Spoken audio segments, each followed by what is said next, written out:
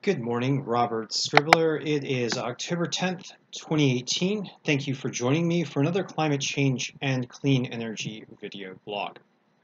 Now for this segment, I am going to revisit the recent IPCC 1.5 degrees Celsius report, and I, I am going to talk about the conversation over the report and why, one, why this report is so important, two, why this report, though it might not be perfect, is is a very essential report and one that we should heed, and why a consensus, somewhat more conservative consensus science, though possibly missing certain aspects of, of human caused climate change potentials, is overall getting the message as as right as they possibly can for an institutional body that incorporates a, a variety of ideas in an evolving science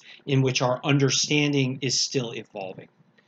Okay, so getting into this, I, would like to point out in particular some statements by the scientists, and I'm going to provide links to the scientific statements for you so that you can read and further discuss and learn more rather than jumping to early conclusions or taking on um, a an overly dark or conspiratorial mindset, which, in my opinion, just clouds the issue entirely. The IPCC is, in my opinion, doing the absolute best it can given the circumstances and its core issue that we should rapidly transition to renewable energies energy systems in order to address human caused climate change, rapidly reduce carbon emissions, and learn how to draw carbon down from the atmosphere is a good core message and one that we need to heed, that we need to follow, and that we need to add a little bit of a caveat to note that even though IPCC's message from this 1.5C report is very urgent, it is likely that we should err on the side of the situation being a bit more urgent than IPCC describes it, and to understand that consensus science tends to err on the side of conservatism. So, so we, we need to even redouble our efforts more to heed the message from IPCC, but to understand that we are probably going to have to apply the recommended courses of action by IPCC, but probably go beyond that as well. Okay, so that's a good first statement.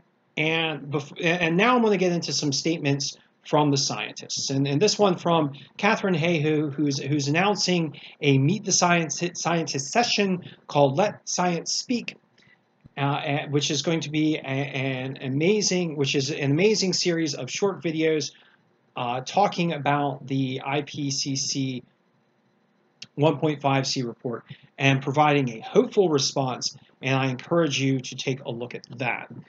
I'd also like to call your attention to Dr. Terry Hughes, who is a world renowned expert on coral reefs who has been sounding an alarm about continued fossil fuel burning, continued carbon emissions into the Earth's atmosphere, and the severe danger to coral reefs.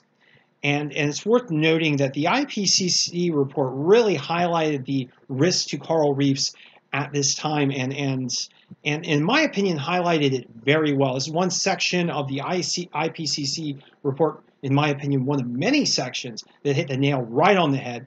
And Terry Hughes notes that you would think there'd be an immediate reaction to the IPCC report from coral reef management agencies, reef fishers, the tourism industry, dive magazines.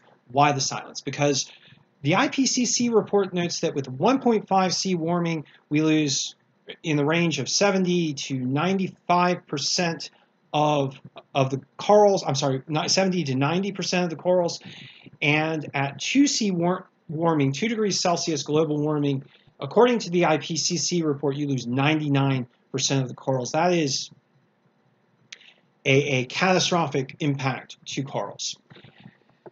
So, and, and Terry Hughes is, is a world-renowned expert on corals, and, and in my opinion, we need to listen to him. We need to listen to what he has to say. I'm going to include his his uh, Twitter feed link, and and I encourage you to read his his statements on corals and on the impacts of human-caused climate change to corals, and on the urgency, the severe urgency to reduce global carbon emissions rapidly.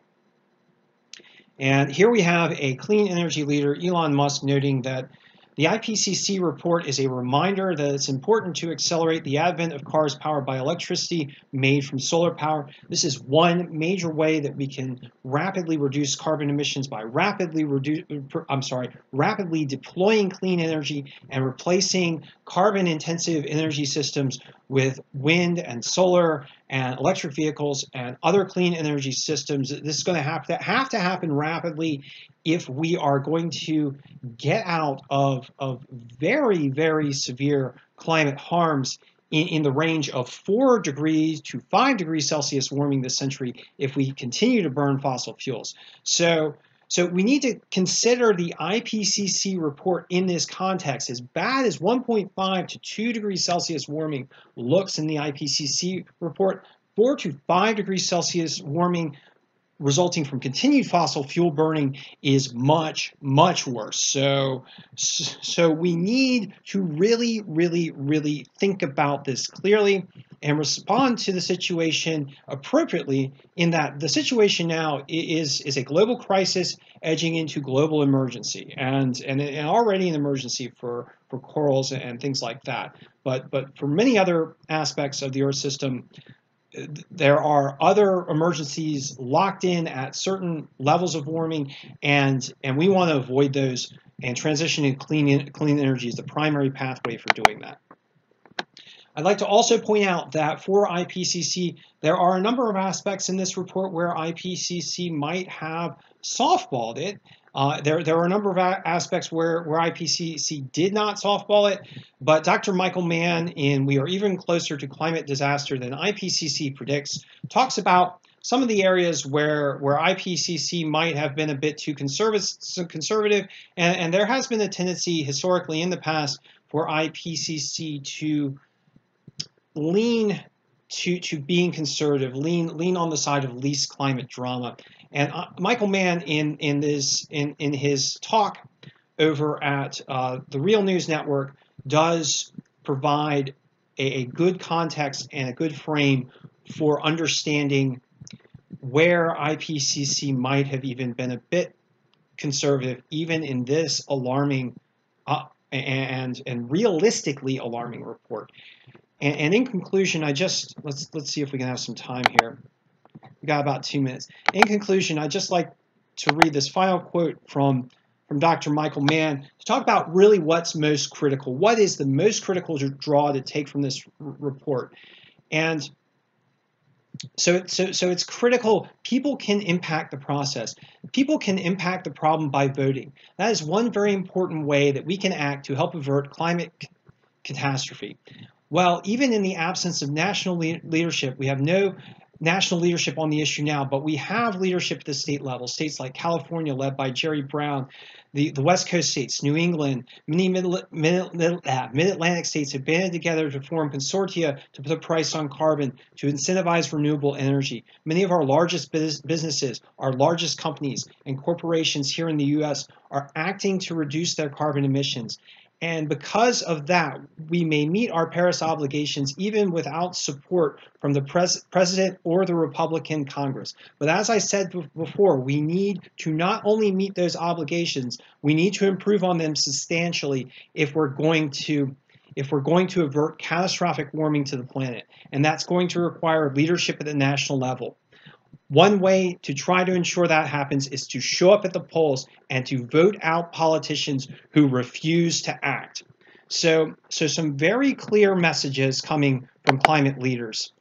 And from IPCC, from Dr. Michael Mann, from Dr. Terry Hughes, from Katharine Hayhoe, and many other scientists, I urge you to listen to the scientists, to listen to what the science, scientists are saying, and to do what you can to support a global climate response. We need it. We need it now.